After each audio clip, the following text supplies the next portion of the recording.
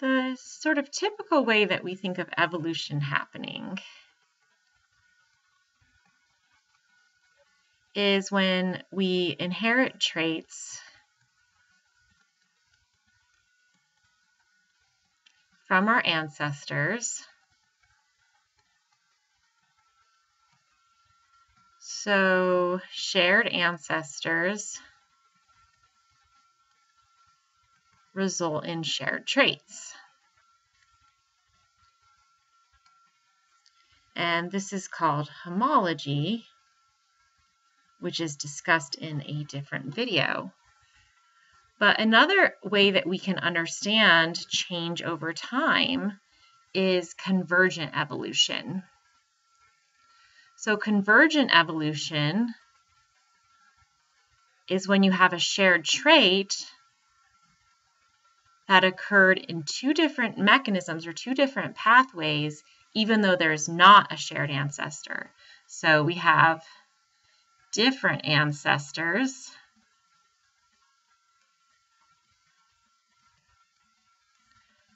But the reason why those different ancestors got a shared trait is because they had similar selective pressures.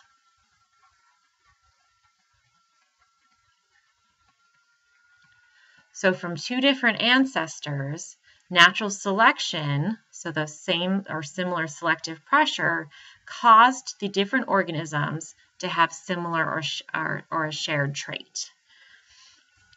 So a more formal definition is de definition is that there's two different species with different lineages. So that's referring to those different ancestors. Um, they show similar characteristics. So again, that's shared types of traits, because they have similar environments. And the similar environment is the similar selective pressure. And that results in convergent evolution. The shared traits, the similar traits, are considered analogous structures.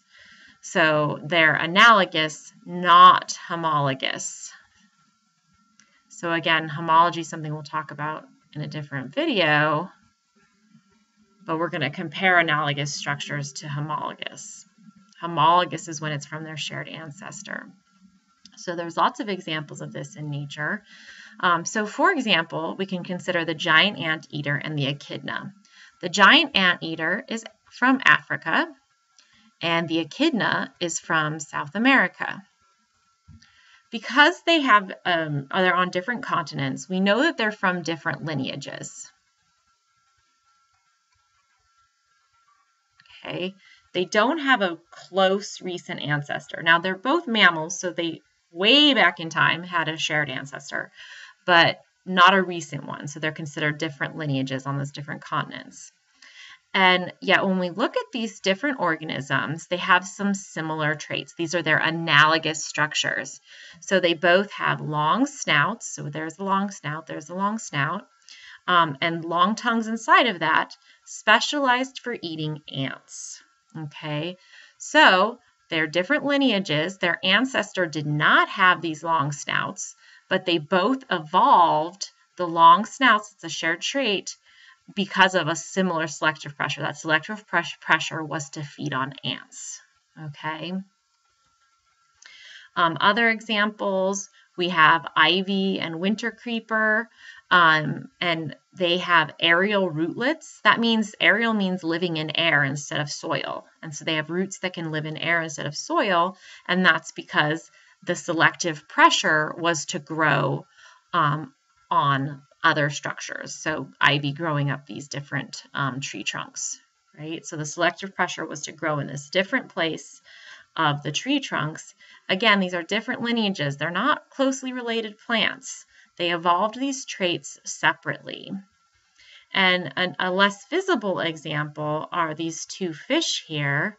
Again, they're from very different lineages of fish, but they um, both live in cold, deep water. So that's the selective pressure.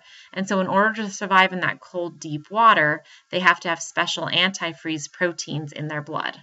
So the antifreeze proteins help keep their blood from freezing in these very cold environments. And again, they got this similar trait because of the selective pressure of living in cold water, even though they have different um, ancestors that did not have the trait. Another way that we can see change over time um, in living things is by a human manipulated situation. This is called selective breeding or also artificial selection. So, this is where um, humans have modified the traits of living things in domesticated organisms. So, this is like cows, horses, all of our crop plants, um, dogs, right? So, all these different animals and plants that we have taken advantage of to help us with our food or just to be pets or whatever.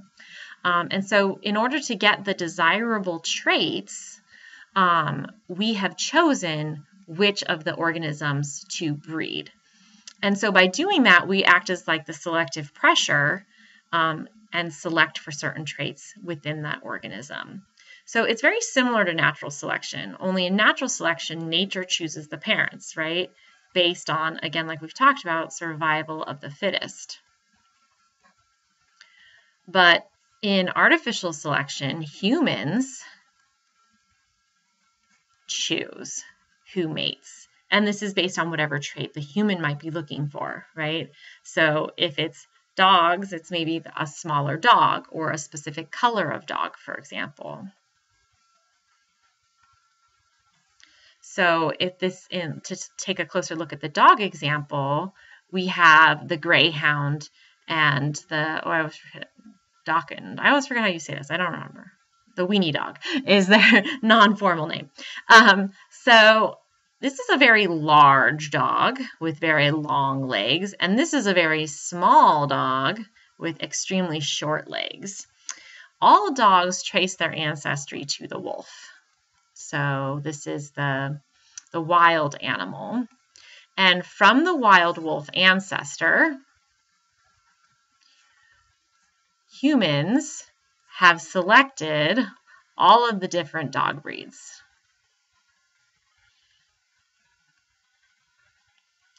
So at two ends of the spectrum, we have the very large dogs and we have small dogs.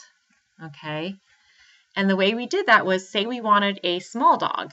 Well, when we first started interacting with wolves, we said, oh, this puppy is a small puppy. Oh, and this other puppy's a small puppy. Let me take the two small puppies and have them have babies together. And then the next time you had puppies, you said, okay, let me take two small puppies and let them have babies together. And then a next generation took those puppies and put the small puppies and let them have puppies together. And so they kept doing this with every litter of puppies. And over time, they got to a point where all of the puppies were small. And this happened with a whole range of traits in dogs that led to all of the different dog breeds today. Now, of course, as you may know, the side effect of always doing that is that your um, your dog breeds end up um, very inbred, so that you end up with a concentration of other traits as well. So most purebred dogs, um, when they have those specific desirable traits that the breeder was selecting for, um, they may also end up concentrating less desirable traits. So most purebred dogs have some kind of diseases that may have accidentally been concentrated by the breeder. So, for example, in um, Labrador retrievers, hip dysplasia is a common issue. In collies, you have blindness as an issue. So you end up concentrating other traits as well. So we've done this with all kinds of animals. Again, any animal that we eat for food, we've done this with, as well as our um, pets. Um, plants, same thing. We did this with corn, with wheat, with rice. And the example here is the brassica family. So the brassicas are um, also the um, the cabbage family plants um, is another name for them. So cabbage, cauliflower, Brussels sprouts, broccoli, kale, kohlrabi, mustard greens, all of these um, are related to the wild mustard plant. So just like with the wild wolf, we took the wild mustard plant and we started breeding it for all these different traits that we liked. So sometimes we wanted to emphasize um, this the the uh, specific leaf structure. Sometimes we were going for bigger flower parts, um, and so by choosing which plant mated with which plant, we optimize specific traits. Um, another illustration of this is within corn. Um, and you can see uh, this is generations of corn. So by 75 generations, um, they had selected for radically different types of corn. So there's lots of different types of corn. Um, so you may be familiar with like corn on the cob. Corn on the cob is oftentimes selected for sweetness. So particularly modern varieties have been modified to have more sugar. Um, and then we have feed corn. Um, and feed corn is oftentimes um, chosen for high starch or high oil content because um, you're feeding it to animals, so you want that to make the animals bigger. And then um, you may be familiar with the product corn oil, right? And so if you wanted a corn oil, uh, a corn that you're going to make corn oil out of it, you would want to select for high oil content. And so plant breeders worked on making a, a, variety of corn that was much higher in oil content, and that's this type here. So again, by selecting for taking corn and saying, okay, this corn has high oil, let me breed it with another corn that has high oil content, did that over many, many, many generations, and you end up with a population of corn plants that are very high in oil content, and do the same thing with low oil content, and you can end up with a strain of corn that has very low oil content. And so again, this illustrates the this change over time in organisms, in this case, change manipulated by the activities of humans for our own benefit.